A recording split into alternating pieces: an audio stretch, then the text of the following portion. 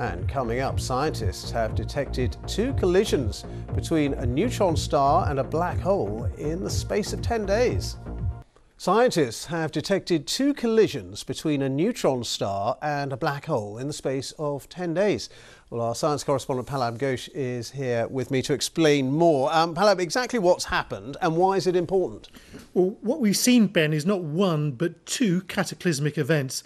Now, we can see what happened from a simulation created by the scientists themselves using astronomical data. Now, that uh, white bluish object is a neutron star and you can see that it's being sucked into the black hole. The neutron star itself is a really weird object, it's super heavy. One teaspoon of the stuff that you see swirling into it would weigh more than 4 billion tons, and the black hole itself is even more massive than the neutron star. Now, what's interesting about this is that this sort of thing shouldn't be that common.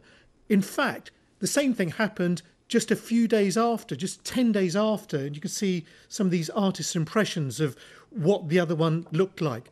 Now, if we are seeing these things more frequently than we previously thought, it suggests that the current models of cosmology might need to be revised. And that's important because it's those models that tell us how galaxy stars, and our own solar system were formed.